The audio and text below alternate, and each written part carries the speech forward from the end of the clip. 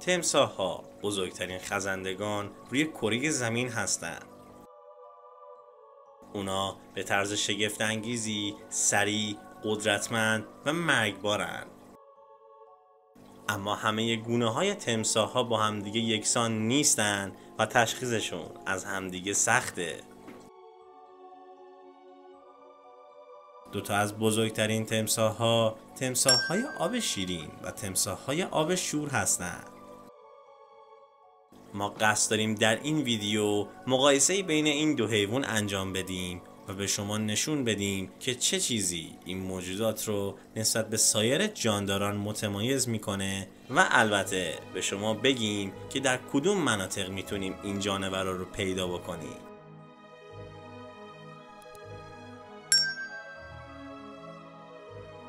مهمترین تفاوت بین تمساه آب شیرین و تمساه آب شور اندازه، رنگ و زیستگاه مورد علاقه اوناست. به طور متوسط تمساه های آبشور بزرگتر از تمساه های آب شیرین هستند. وزن متوسط یک تمساه آبشور بین 180 تا 512 کیلوگرمه و طولشون هم در حدود 3 تا 6.5 متره. در مقابل تمساه های آب شیرین وزن متوسطی بین 227 تا 413 کیلوگرم دارن و طولشون هم بین 3 تا 4.5 متره.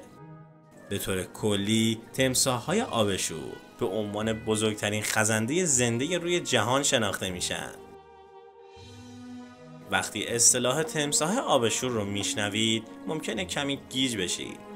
چون تمساه ها می‌تونن در اکثر اوقات در آبهای شور و حتی شیرین هم زندگی کنند.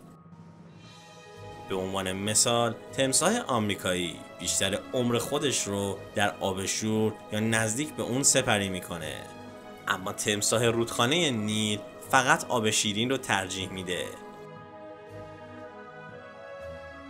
عبارت تمساه آبشور صرفا به یک گونه خاص اشاره می‌کنه و لزوما زیستگاه این موجود نیستش. تمساه نیل در جنوب صحرای آفریقا در رودخانه آب شیرین که نام خودشو از این رودخونه گرفته زندگی می‌کنه. گستردگی اونا به بخش های جنوبی قاره و حتی ماداگاسکار هم می‌رسه.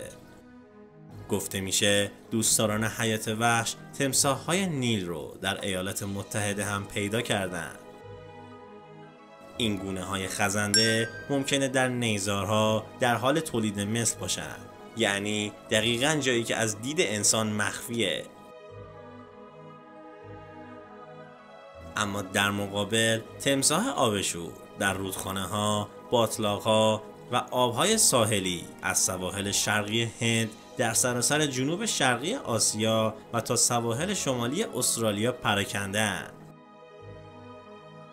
این تمساه ها می‌تونن زمان قابل توجهی رو در دریا سپری کنن و حتی مسافت های طولانی رو هم شناع بکنن.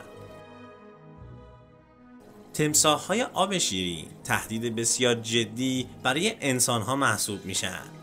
برآورد میشه که اونها سالانه حدود هزار نفر رو مورد حمله قرار میدن و می‌کشن. اما در مقابل تمساه های آبشور برخلاف تمساه های آب شیرین روحیه تهاجمی کمتری رو دارن. با این حال اونا هنوز هم سالانه ده ها یا حتی چند صد نفر رو مورد حمله قرار میدن و می‌کشن. جالب اینجاست که مرگبارترین حمله ها در تاریخ بشر توسط های آبشور صورت گرفته.